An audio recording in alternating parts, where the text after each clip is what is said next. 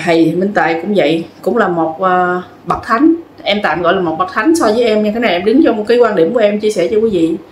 Thì uh, quý vị khi thấy thầy Minh Tệ ra có hai luồng tư tưởng một người khen một người chê. Nhưng mà cái chuyện nó bỏ qua một bên. Và quý vị thấy không? Ở đâu những cái chàng trai đó ngưỡng mộ sư minh tệ người ta một người từng ăn chơi. Trong đó có những có có ăn chơi có có hiền lành có có những người họ cũng thành đạt có. Chia ra mình tạm gọi là ba ba dạng đi.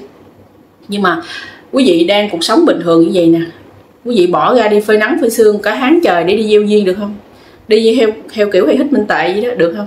Rồi xong tính được đâu bao nhiêu ngày thì nhà nước không cho nữa. Thì cho đúng dù dù đúng dù sai gì mà em có nói. Nhưng với quý vị bình thường một ngày, quý vị thử ăn ngọ một ngày thôi. Quý vị đi thử hai ngày, ba ngày chịu không nổi. Nhưng mà thầy đã đi được như vậy, rất là hay.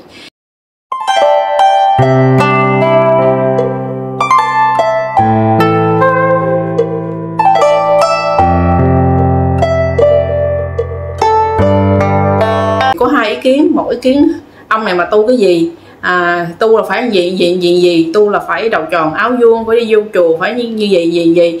Đi lang thang gì không đúng hạnh đầu đà ví dụ vậy đi. Nhưng mà quý vị có làm được như sư minh tệ không? Có được hân họ tâm pháp một ngày nhận một buổi cơm không? Và nếu một sư minh tệ ăn ngày ba buổi cũng được nữa. Tại vì sao quý vị? Tại vì người ta đâu có nhận tiền nhận bạc gì đâu người ta đói bụng ta ăn được bình thường không sao hết trơn cũng không có hại gì ai hết trơn á quý vị đó, thì đó là một chuyện mà chúng ta đem rất nhiều phép thử để thử thầy. Đôi khi á thiệt không biết thiệt không biết nhưng mà chúng ta là người đã khởi cái tâm lên rồi đó, khởi cái tâm xấu lên đó. Mình cái quyền gì mình mình được khảo người ta? Trừ khi cái người đó có sứ mạng, được ở trên giao phó mới đi khảo nha. Chúng ta lơ mơ tại vì trong căn có nhiều người, ta nghĩ người ta có sứ mạng đi khảo. Nhiều khi lúc đó mình có sứ mạng nhưng mà chúng ta đã làm đúng vai trò, chúng ta được hưởng rồi, chúng ta phải lên cấp mới. Giống như em em là một ví dụ điển hình em à, từng ăn ngọ 6 tháng. Cái lúc đó em không biết tự nhiên sao cho em ăn ngọ chuyển cho em gặp một người đúng duyên để em ăn ngọ được 6 tháng. Và lúc đó em ốm được 6 7 kg thì à, lúc đó em bây giờ hiện tại em lên ký lại rồi em hơi mập. Nói chung là mập luôn đó. Và lúc đó thì chuyển uống 6 kg để mà mình à, đắp một cái vai khác. Lúc đó em trả quả trả quả về đời vì gì tình duyên gì cuộc sống gia đình là em bị trả quả. Em cứ nói trả quả cái gì để hiểu được rồi. Mình không cần phải nói quá khứ mình nói trả quả là mọi người sẽ hiểu được. Mình đã từng bị tổn thương mình từng cũng có cái gì đó sai trái với cuộc đời này mình bị trả quả. Thì à, người ta gặp em hỏi ơi sao nhau này mày ốm như vậy? Tự nhiên cái miệng em giọt ra em nói một câu gì nè tôi chuẩn bị đóng vai khác rồi. Thì thật sự ra lúc đó mình không có hiểu và em mượn chị à, em mượn và chị bạn 2 triệu em ờ, mua quần áo mới. Em cuối năm đó là tự nhiên cái hồn mình lướt tiktok á mua giải rất là nhiều. Mua ba cái phụ kiện ba cái còm đồ đeo giống như mấy bà mà hội đồng vậy đó quý vị. Thì em không có biết em không có biết đâu. Cái ờ, em cứ mua mua mua gì đó. Cái em mai đồ em mặc mua đồ mới thôi mà. Lúc trước thì cũng không có khổ, khó khăn nhưng mà không nó khổ lắm. Nói chung khổ thì khổ nhưng mà cũng ờ, nó không phải là khổ lắm quý vị. Nhưng mà mình cũng còn lâu lâu thỉnh thoảng có chị cho tiền đó, thì à, em sống thì được ừ, nhờ cái duyên của chị cho tiền. Và sau này thì chị năm nay chị bắt cắt lương mà không cho. Thì lúc đến lúc này thì em làm được youtube. Em cũng có bạn, nhưng bạn em thì cũng không có khá giả gì. Đó, thì cái đó là mình chia sẻ. Thì nói chung là tự mình làm, mình lấy ăn đó, chứ không ai lo cho ai đó quý vị. Thì à, cũng khó khăn lắm quý vị. Rồi đến cái lúc đó tự nhiên mình mới à, giọt miệng mình nói tôi đóng vai khác là tự nhiên là mình mặc đồ đó, mình đeo nọ giống như bà hội đồng mà mình ốm. Bây giờ thì tự nhiên cái ờ, em vô cái nhóm youtube. Và tự nhiên cái nhóm youtube thì nói chung banh chành rồi, ai đã từng theo dõi. Cô bác này theo dõi em nhiều clip thì biết cái nhóm em giờ banh chành, không ai chơi với ai, chỉ chia hai nhóm, hai phe. Thì cái đó mình không nói xấu tốt vậy đây, thì em đã xong nhiệm vụ của em đó. Đến lúc em phải đi một cái nơi khác em sống và em đến một chỗ khác làm nhiệm vụ của em nữa đó, cái gì gì cái dở tuồng nào cũng lúc mở rồi tới lúc xếp lại, chứ không phải chúng ta đóng hoài trong cái giai đó. Em đã làm hoàn thành cái nhiệm vụ của em rồi, tới cái lúc em phải đóng cái giai khác. Thì cái cái lúc mà em nói pháp với quý vị thì em cũng là người được chuyện để nói, chứ không phải tự nhiên em biết đâu mà em nói. Có những lúc em nói sao em giật mình đó trời ơi, sao mình có thể nói được những cái này? Nhiều khi em giật mình á cái kiến thức em có giới hạn và cái thứ hai nữa em không có đọc sách nhiều. Và cái thứ ba nữa em ít có biết về mấy cái này lắm. Em hồi nhỏ lớn em không có coi phim nhiều rất ít coi em không có gành thật sự em không có gành nhưng mà mình không biết sao mình đã nói hôm nay đã cỡ 50 clip rồi là cái sự đó. Mình bất ngờ về cái sự cái sự nói chuyện của mình đó. À, thầy minh tài cũng vậy cũng là một uh, bậc thánh. Em tạm gọi là một bậc thánh so với em nha. Cái này em đứng trong một cái quan điểm của em chia sẻ cho quý vị thì à, quý vị khi thấy hệ xích minh tệ ra, có hai luồng tư tưởng, một người khen, một người chê, nhưng mà cái chuyện đó bỏ qua một bên. Và quý vị thấy không? Ở đâu những cái chàng trai đó ngưỡng mộ sư minh tệ người ta một người từng ăn chơi. Trong đó có những, có có ăn chơi có có hiền lành có có những người họ cũng thành đạt có. Chia ra mình tạm gọi là ba ba dạng đi. Nhưng mà quý vị đang cuộc sống bình thường như vậy nè. Quý vị bỏ ra đi phơi nắng, phơi sương cả tháng trời để đi gieo duyên được không? Đi theo theo kiểu hay hít minh tệ vậy đó, được không? Rồi xong tính được đâu bao nhiêu ngày thì nhà nước không cho nữa. Thì cho đúng dù dù đúng dù sai gì mà em có nói. Nhưng với quý vị bình thường một ngày quý vị thử ăn ngọ một ngày thôi. Quý vị đi thử hai ngày ba ngày chịu không nổi. Nhưng mà thầy đã đi được như vậy rất là hay. Mình đi mình đội nón á con khi người ta đi không đội nón không có tóc nắng lắm quý vị. Và cái vùng đất đó thì rất là nắng. À, vùng đất ngoài miền trung thì hơi bị nắng nha nhưng mà mình thấy quý vị không ở đâu cái ngược ở trên một cái mình nói một cái vở kịch ở trên thượng đế sắp xếp rất là hay. Cái người này không biết ở đâu đâu không biết tự nhiên um, cảm phục cái hạnh tu của ngày minh tệ. Và bắt đầu là tự nhiên ta bỏ tất cả người ta đi đi dù là đến bây giờ có người đã hoàn tục không được đi nữa như thế nào nào đó. Cái chuyện đó mình không có phân tích xong nhưng mà rõ ràng ở đâu xuất hiện những người này đã đi được như vậy rất hay nhưng mà chúng ta đi chưa chắc đã được.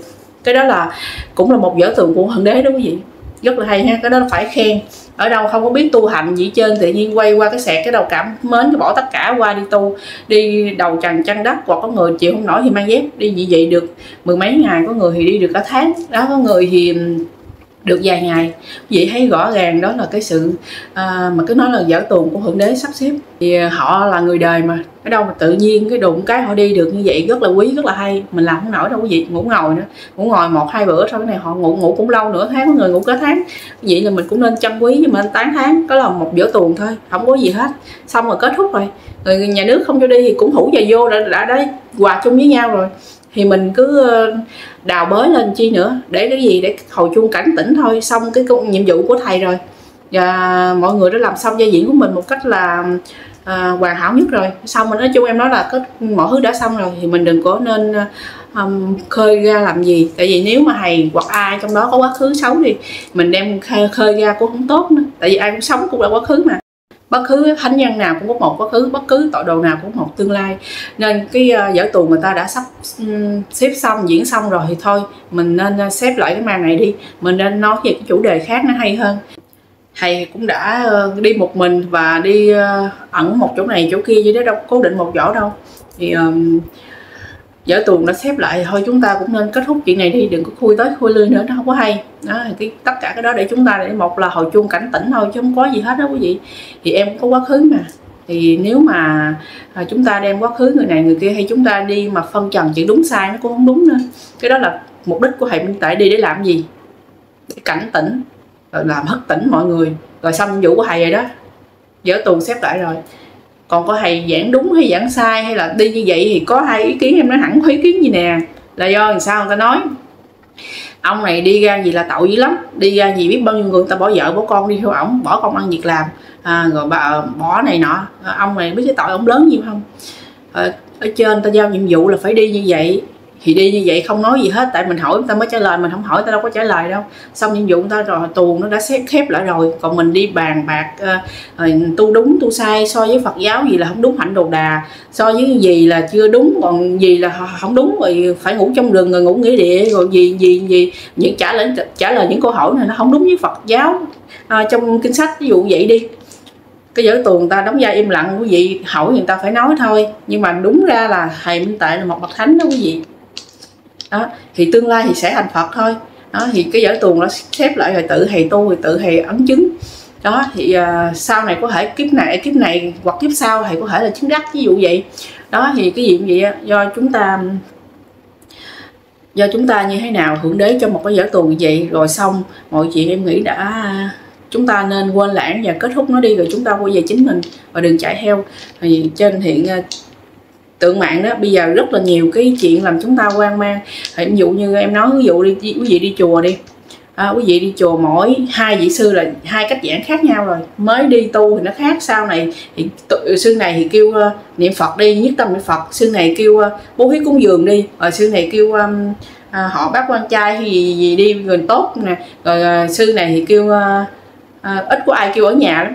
Ít ai kêu quý vị ở nhà tự tu tập tự quý vị thức tỉnh quý vị em không thấy toàn là kêu đi chùa làm phước cúng dường không? Phải kêu quý vị ở nhà tự tu tập. Chúng ta đã hạnh phúc rồi, chúng ta đã bình an rồi, chúng ta đâu cần làm ăn mày nơi cửa phật chi nữa. Chúng ta đến chùa mục đích là cầu xin thôi, chứ không có làm gì chứ thì à, chúng ta, nếu mà chúng ta nhức đầu, trầm cảm chúng ta đi đến đó để tìm một cái góc thanh tịnh, chúng ta xả chết chúng ta đi về. Nhưng mà chúng ta là do chưa tìm ra cái nút thắt ờ, những cái cái khúc mắc của mình thôi chứ chúng ta tự ở nhà vẫn có thể mà làm được. Nhưng mà cái đó là cái chuyện không ai cấm cản đó là chuyện bình thường. Nên á em thì không có khuyên ai đi hay ở chùa hay đến chùa hay là về nhà gì đó. Quan trọng chúng ta tu làm sao chúng ta quay về bên trong. Chúng ta tự làm chúng ta an vui. À, chứ còn mỗi người mà chúng ta đi ghép mỗi người một pháp môn người này thầy này còn chơi thầy kia nữa. Tu với nhau mà còn chơi qua chơi lại pháp môn người này pháp môn người kia thì hỏi quý vị ghé đi với quý vị loạn tâm luôn rồi tu làm sao? Tu như thế nào mới đúng? Thì ờ, thì thật sự ra tất cả các pháp môn nó chỉ là một cái con đường dụ dẫn để chúng ta quay về con đường tu tập để làm thế nào thanh tịnh thôi. Có người nói hiện nay là bắt buộc phải tu ờ, a di đà. Có người thì nói là phải uh, chị chú đại bi rất là tốt. Mà có người thì nói là phải bắt buộc phải qua phương pháp thiền mới được. Thì đúng chứ không phải sai đúng hết ai nói cũng đúng hết. Nhưng tất cả cái đó là cái cái con đường mình dụ dẫn để mình quay về cái con đường thanh tịnh nếu mà mình à, hiền đó mà mình không không thanh tịnh cũng như không. Nếu mà mình niệm phật mình không thanh tịnh cũng như không. Nếu mà chị chú không thanh tịnh cũng như không. Đó thì chúng ta tu làm sao để quay về bên trong của mình mới đúng như quý vị đó là tất con đường là bắt buộc đó. Thì hôm nay em à, chia sẻ nếu mà cô bác nào hữu duyên với em đó thì à, em xin chia sẻ. Thì thật sự ra nếu mà nếu mà hỏi cảm nghiệm của cuộc sống của em á, về cái quá trình tu tập á, thì lúc mà hành căn em đau khổ rất nhiều. Và tháng hành căn điều gì đã cứu sống em? Thứ nhất là do em lại sám hối thứ hai nữa là do em chị chú. Vì chị chú cho mình cái công năng à, có cái nội lực á thì các chị sẽ hạn chế xâm nhập vô người mình. Nói chung bây giờ vẫn bị nhưng mà nó hạn chế ít. Giống như là vô mà vô không được và còn nếu mà vô cũng không làm gì được mình giống như ẩn ẩn vậy thôi hoặc là cho mình ăn nhiều này nọ hoặc lâu lâu bực bội và mình có tu tập mình quán xét lại thì mình biết lúc đó thì mình dừng lại. Đó là vậy. Còn nếu mà quý vị mà cứ bỏ luôn đi thầy hoặc như thế nào đó chúng ta làm um, kiểu mà chúng ta đang quan mang á chúng ta đi thầy mà muốn hết liền á thì sẽ bệnh càng ngày càng nặng thêm và rất là lâu hết. Và điều thứ ba nữa thì em cũng gặp được một ờ, vị thầy tốt. Đó là ba điều đã cứu sống em. Đó thì lúc đó thì trên du di cho em đi học chứ uh, lúc đó em hành căng thì uh, đi rất là nhiều thầy cuối cùng một chỗ thầy này thì em cảm giác làm cho em an tâm như thế nào đó. Cứ trong cái hồn của mình á cứ muốn đi tới đó hoài. Thì cứ chiều 6 giờ là em sẽ đi lên đó đến 9 giờ em về. Có khi chín rưỡi 6 đến 9 giờ ngày nào cũng như vậy hết. Đó thì ờ, đi vừa học trong cái hồn những cái hũ cứ vô. Có khi bị ma nhập cái ngồi đó bị đánh mỗi ngày đó quý vị. À, bị đánh xong ngồi dậy rồi xong cũng cái lúc đó là con người mình sẽ có hai cái luồng điển âm và dương ha là mình nói đó là sẽ rất là nhạy vì cái vậy vì tâm linh rất dễ bị nhập và nhiều khi cũng biết coi bói này nọ nữa. Rồi sau này là mất tiêu hết rồi đó quý vị. À, nên con người mình lúc bị hành căng là sẽ mình nói gọi là sát hội đó. Thì người này phóng ra người kia phóng vô người mình rất là nhạy nên mình gắng phải tu tập làm sao để cho các chị đừng có vô sát mình nữa. Thì quý vị nếu mà đang hành căn hay là đang tu tập cũng vậy, phải tập cho mình một cái nội lực mạnh, đó là gì? Chị chú. Em nói thấy chị chú rất là hay quý vị thì đôi khi niệm phật, đôi khi nó không có định nhiều, tại vì lý do nó quá dễ quá dễ niệm. Còn nếu mà ai đã niệm phật thì hừng thục rồi đó, cô bác lớn tuổi thì niệm phật hừng thục rồi thì niệm phật nhất tâm cũng rất là tốt. Nói chung đường nào cũng tốt nhưng mà cái này à mình nói là dành cho những ai mà khó nhất tâm mình phải quay qua chị chú. Vì chị chú thì thật sự là hay. Và chị chú này em cảm giác trong kinh đó thì buổi sáng mà 4 giờ sáng công phu tu tập thì thì chùa có chị chú à, lăng nghiêm. Bữa nay em đi núi. Em đi núi thì tới cái chỗ đó. Thì à, cái âm khí rất là nặng rồi em biết là chỗ này không có ai ngự, tại vì mình biết chỗ này là người ta cúng kiến ít. Thứ hai nữa là chỗ này là có thể người ta luyện bùa, luyện ngải gì nữa. Cái âm khí là nặng, em vô em không có hấp nha, em cũng có lại, em đứng, em đi vòng rồi em đi ra. Em thấy bạn em nó lại, em kêu, ê ê, thấy nó cũng lại thôi, lỡ lại, cho lại đi. Em kêu mấy lần không nghe thôi. Là quý vị biết lý do làm sao không? Chỗ đó âm khí quá nặng, ít tu tập, tối không ai tụng kinh hay sao đó. Thì cái nơi đó âm khí rất là nặng là nơi đó là những cái linh khí, âm khí đó, nó hút vô tượng.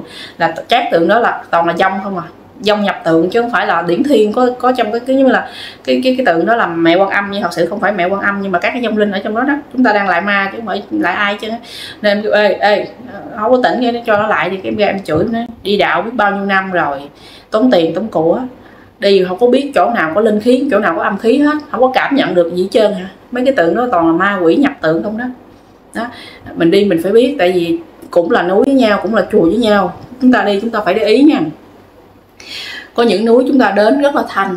Những cái am cốc đó rất là thanh. Có những núi đó mà người nào mà họ à, họ muốn ham thích thằng hông họ đến họ luyện bùa đó. Chúng ta đến là nơi đó là quần quằn quần trong mặt hoặc là những cái nơi nào mà người ta um, nuôi binh đồ nhiều đó và cái lực mình đó vô là cái đầu nó quay quay quay nó chóng mặt là chúng ta biết là quá trời nhiều dông rồi đó thì chúng ta biết hoặc là những người nào đang yếu đó thì đi chùa ra phía sau bàn thờ cũng có dông rất là nhiều. Và đi nếu mà lực yếu thì chúng ta chắc mặt nếu mà cúng kiến đàng hoàng mà à, nói chung cúng kiến đàng hoàng cơm bằng tụng kinh á chùa mà có tụng kinh thường xuyên mỗi ngày đó thì cũng sẽ tới nó nhẹ nó bình thường ha nó không có sao không ha.